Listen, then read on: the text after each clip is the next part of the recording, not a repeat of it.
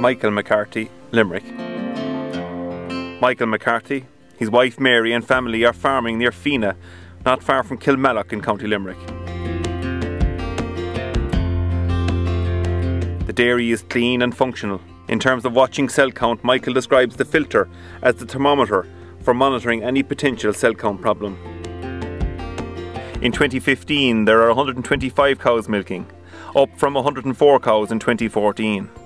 In total, they are farming 107 hectares, and milk delivered in 2014 was 663,000 litres at 4.05% fat and 3.56% protein.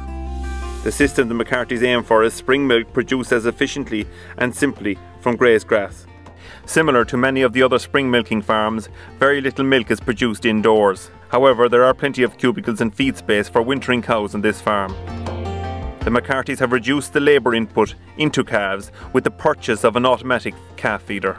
A good record of everything is kept on this farm and somatic cell count results average 103,000 for 2014 with TBC averaging 16,000.